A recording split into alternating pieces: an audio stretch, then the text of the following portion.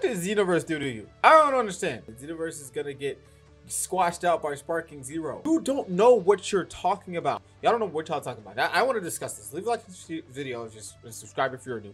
If you're new here, I discuss a lot of opinions. I'm gonna be throwing up some Xenoverse clips on the screen in the back end. But but to emphasize, guys, y'all over here saying, "Oh, Xenoverse is gonna die when Sparking Zero comes." Guys, you guys haven't been watching.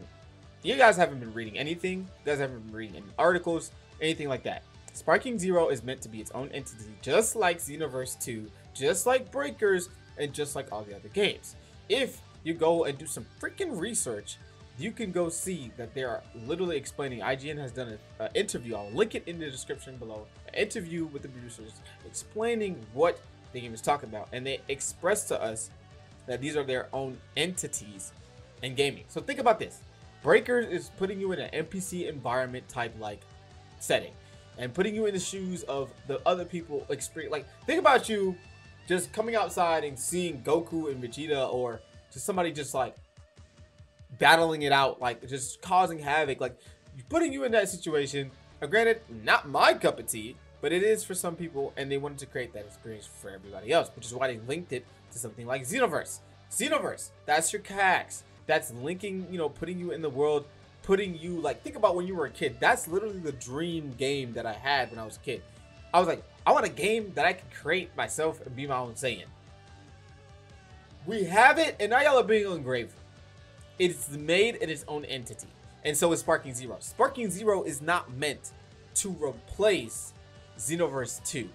Sparking Zero is meant to be its own entity to put you in the world as a Z fighter, not being a CAC, but just a Z fighter and recreating the battles and the famous battles that we know and love and just duking it out with some of the biggest rosters that no other Dragon Ball game has. They're flexing rosters, gameplay, and map size, map, uh, just everything. That's what they're flexing. They're not flexing, oh, this is the next big Dragon Ball game. This is the next big thing. This is the, no, it's not like that. It's supposed to, everything is supposed to have its own circle. It's supposed to be connected. Trade Breakers, Xenoverse 2, all of that. It's supposed to be connected. And that's why people, I'm just like, why am I seeing all this stuff on Twitter? Like, oh, Xenoverse is dead.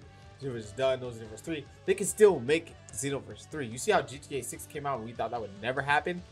Who's to say they haven't been working on something where they're not putting stuff in the back burner to get stuff ready? You know, they're having a PS5 port that's coming out next next year. What if that's to practice? A lot of games have been doing that. Spider-Man has been doing that as well. Remastering their games to then port them onto a new gen, next gen system to practice on the next gen system, adding more features, then making the new game after. It's been they've been doing it for the past five years. Wake up! Xenoverse 3 can still happen. It can still be the biggest Dragon Ball game. Let's not get it twisted. And while Sparking Zero, I think, is going to be the biggest Dragon Ball game to date because Xenoverse 2 is outdated.